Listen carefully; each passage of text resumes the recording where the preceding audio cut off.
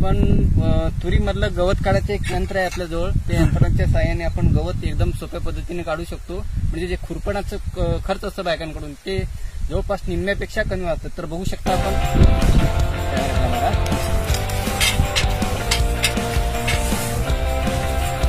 नावाचं हे गवत आहे.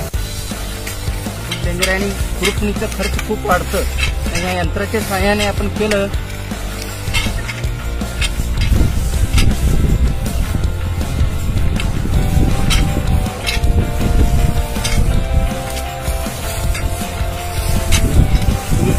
इथं दोन्ही तुरीला धक्का न लावता त्याच्यामधलं आपण गवत काढण्याचं काम केलेलं आहे.